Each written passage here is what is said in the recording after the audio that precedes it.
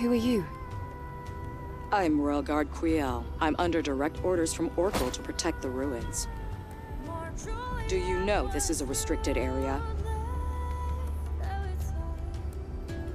Wait, wait, but we are here to do a favor for Orcal? Even so, I can't let anyone in who isn't qualified.